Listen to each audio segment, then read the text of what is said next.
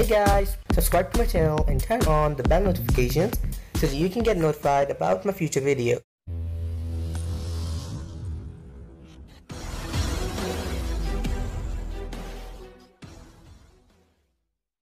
Hey guys, intelligence from within.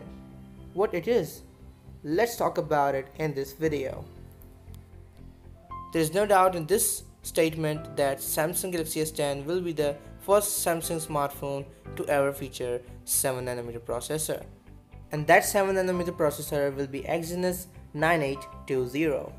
That is the Samsung's first Exynos chip to be produced on Samsung's 7nm advanced LPP process that relies on EUV lithography technology.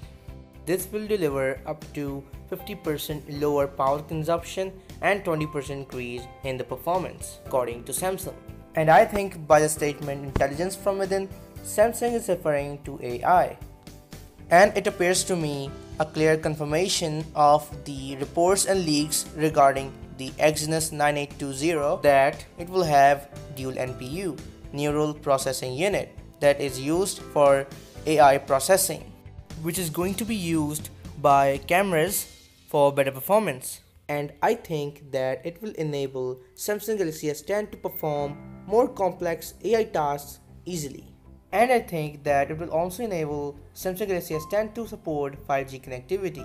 Samsung has not revealed any further information regarding this topic, but we will not have to wait for much longer because it is going to launch on 14th of November.